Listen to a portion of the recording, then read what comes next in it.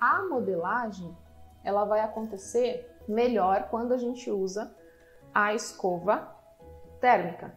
Aí beleza, eu tenho quatro tamanhos de escova. Se você optar pela escova de maior diâmetro, você não vai ter tanta modelagem. Você vai ter um cabelo com efeito mais liso. Aí eu pergunto para você, o diâmetro dessa escova vai atender a necessidade de modelagem que você quer? Provavelmente não. Beleza, então a gente tira a escova grandona aqui. Aí você pode pensar, beleza, que tipo de modelagem que você está buscando? É uma modelagem só de ponta? E qual que é o comprimento do cabelo? Aí a gente começa a encaixar tudo, entendeu?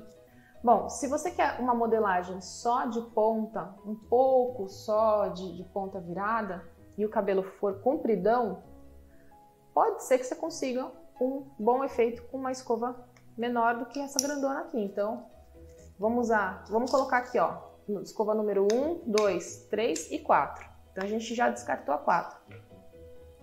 Então, se eu quero modelar essa ponta e eu quero um efeito mais sutil, eu posso usar essa escova, que é a escova 3? Posso também.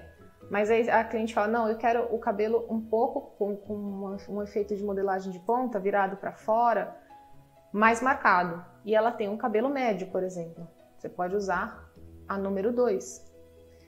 Aí você fala assim: não, o cabelo tá curtinho, a gente quer trabalhar uma, uma modelagem, né, dar um efeito de movimento bem bonito pro cabelo. Você precisa usar uma escova de diâmetro menor, tá?